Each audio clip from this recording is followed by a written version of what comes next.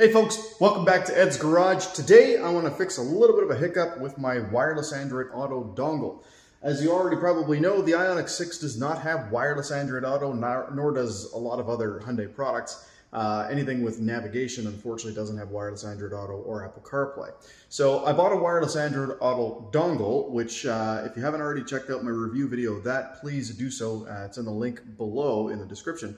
Um, but one of the annoying little problems is that because the USB port that it connects to is constantly powered, the wireless Android Auto dongle never actually lets go of the wireless connection to your phone. So when you get out of your car and go into your house, it stays connected. It's kind of annoying. So I had to basically come up with a way to make it shut off when the car shut off. So essentially what I'm going to do is make a wire that actually plugs in or connects to a switched power supply, uh, generally the 12 volt port underneath the console, um, and I'm going to show you guys how to do that. All right, so let's get started. All right, in order to explain properly how to do this, I've already actually done it, and now I'm going to show you how I did it. Um, so you're going to want to use proper plastic pry tools, okay? Nothing else but proper plastic pry tools. And you're going to start by removing the base at this end here, and just kind of peel it up uh, right on the edge there, and you can see it's held in by clips. pull it out from the other side here. And you just kind of pull it up and make your way along to the back and then take that out. So once you've got all those clips removed, it should come out fairly easily. I'll show you where all the clips are here real quick. There they all are, and then two near the back. And as you can see, the very back end kind of slots in. So starting at your front, front and working way to the back. All right, so that is that part. part. Being careful, of course, not to scratch everything. All right, so next thing is the actual plug panel. And for that, you want to start along the bottom here and kind of pull, pull this up a bit first because there's two clips underneath. As you can see, there's one on the right and one on the left. And unfortunately, while pulling this off, I did snap a clip off. I'll show you what I mean here. So you pull that off a little bit, and then you got to try to get the, pl the plastic pry tools in along the sides to pull out this way. And uh, I'll show you what that looks like now. So there you can see all of the plastic clips holding that in.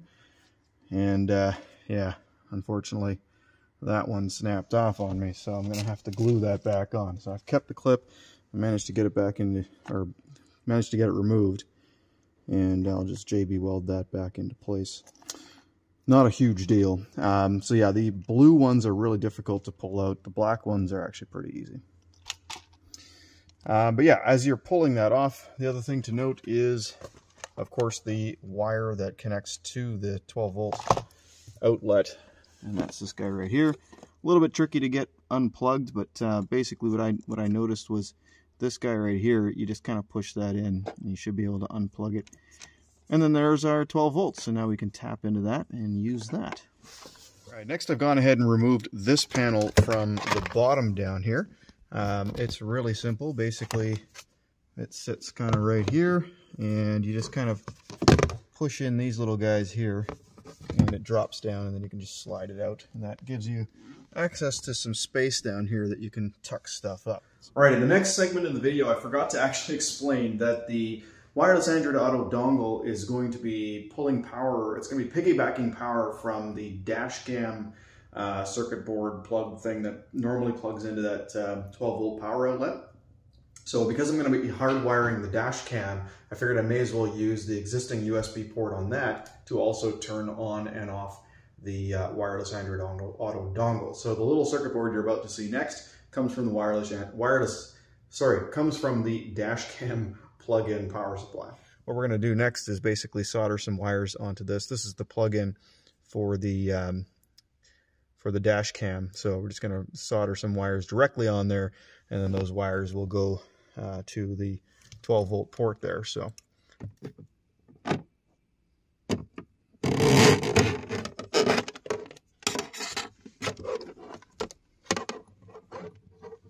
All right, got some wires soldered to the old plug.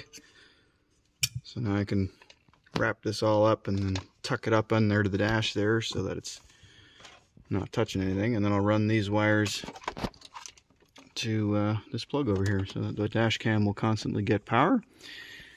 And also the wireless Android Auto adapter will run from there down into there as well and plug into that. Right, so here's what the wiring is going to look like. The wireless adapter is going to plug into this little guy right here. It's just this the end of an extension cord for USB. The data connections, the green and white wire, they're going to go into this right here, which is going to go into the car's uh, Android Auto, uh, basically the uplink port, the USB port that's near the wireless charger.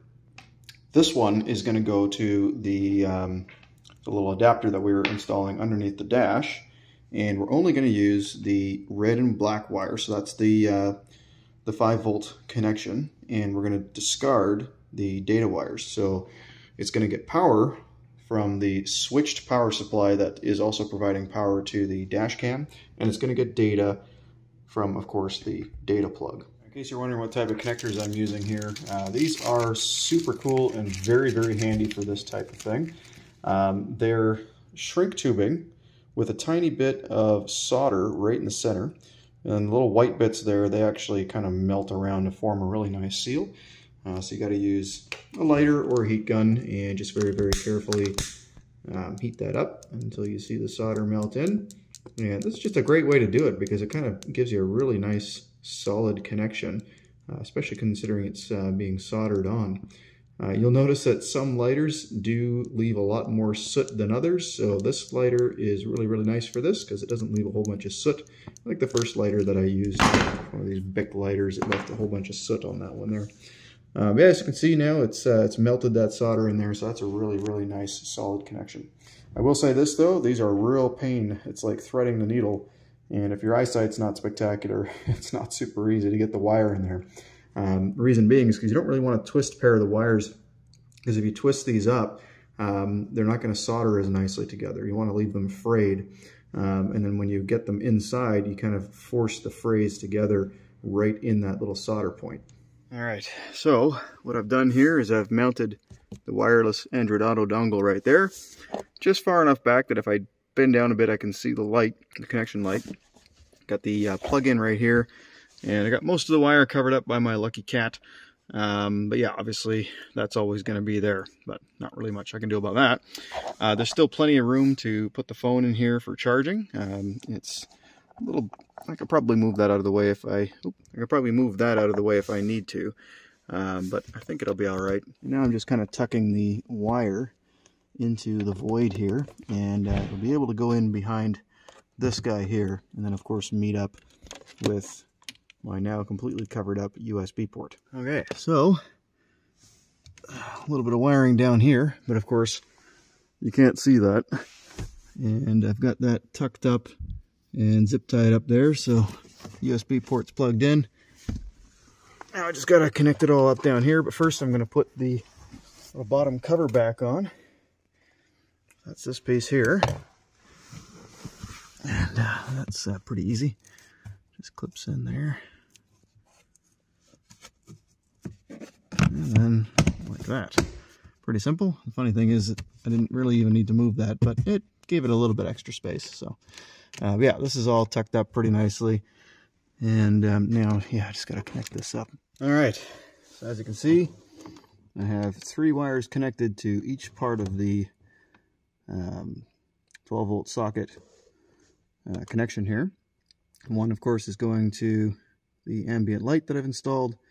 One is going to the socket, of course. So I've got uh, two connectors ready to go for that.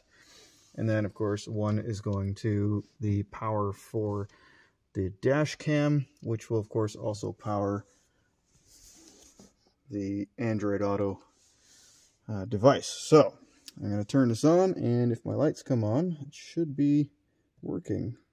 Yep, there we go. Ambient lighting's on. Dash cam just powered up. And my light is on for the Android Auto. I shut the car off and everything's off. Perfect. So it's all working. Now I'm just going to tape the heck out of this, make sure it's safe, and then I can put everything back together. All right, so as you can see, everything is nice and buttoned up. Can't see any wires. Everything's tucked away. I mean, only wire you can see is just this little bit right here. Um, yeah, everything's looking great. So we're going to go ahead and try this with my wife's phone. Um, it was already connected to the uh, Android Auto dongle at one point, so it should just reconnect. The camera that I'm using is actually on my phone right now, uh, so I can't show you the wireless Android or the sorry the wireless charging uh, functioning because well the only phone I have that does that is the one that I'm using to record. All right, so let's fire up the car and see if it connects.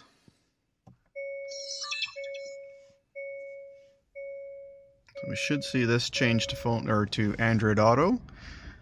And it does take a bit, only because it has to disconnect from like the house Wi-Fi and has to connect to the Bluetooth, and then Bluetooth has to, or the smart box has to tell it to connect to Wi-Fi, etc. Oh, there we go. Okay, it looks like it's going to start playing music here, unless I turn it down. And there we go, completely wireless Android Auto, and uh, it shuts off by itself, which is kind of nice. So no worries about uh, needing to turn off the um, the or unplug the wireless Android Auto box or anything like that. It now is completely disconnected. As you can see, there is no more connection light on the uh, on the box there. All right, well, I hope this uh, video helped you guys out. Uh, if you have any questions, comments, or concerns, please don't hesitate to leave them below. Uh, don't forget to check the description below for the uh, review that I did on the Android Auto wireless adapter box thing. Uh, it was super cheap. It was only 50 bucks, so unfortunately, it just doesn't know when the car is on or off if the USB port stays energized. So that's why I had to make this little wire to um, kind of trick it into doing that. But at the same time, I was able to hide the wiring for my dash cam, which is something I wanted to do anyway. So yeah, again, if you like the video, don't forget to hit like and subscribe for future videos. But thank you so much for watching, guys. I know this video was uh, short and sweet, but it's all it needed for that one. So, all right, have a great day. Take care.